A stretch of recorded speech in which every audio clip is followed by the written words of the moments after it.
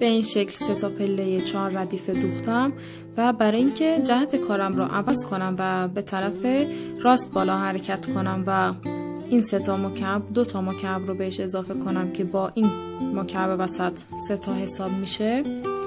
به جای اینکه چهار تا به طرف چپ برم چهار تا به طرف راست حرکت می‌کنم. یعنی چهار تا حساب می‌کنم و طرف راست سوزنم رو می‌زنم به این شکل. و سوزنم رو کنار همین کار می‌زنم و یک ردیف بالاتر. و دوباره شروع به دوخت می‌کنم. و چهار ردیف میدوزم. به این شکل چهار ردیف میدوزم و دوباره چهار ردیف دیگر و به طرف پایین حرکت می‌کنم. برگشتم به طرف پایین. به این شکل همونطور که در تصویر می‌بینید به گوشه پایین این مربع رو برمیگردونیم و چهار تار از طرف راست برمیداریم و یک ردیف به طرف پایین حرکت می‌کنیم.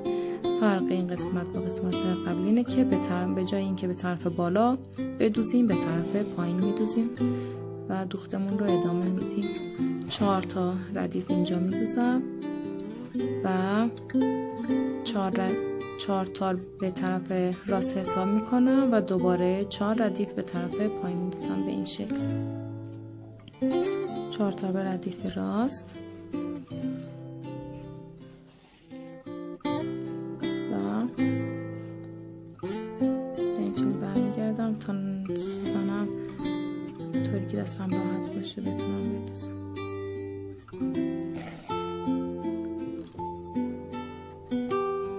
شکل چهار ردیف میدوزم.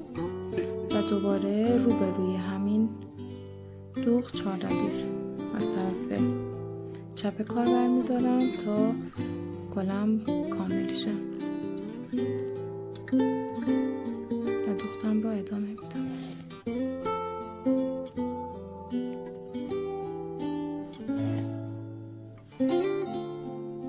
به این شکل.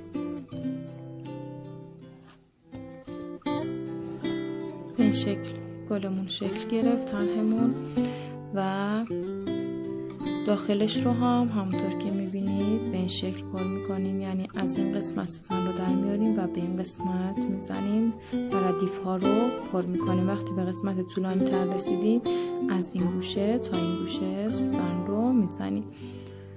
به این شکل.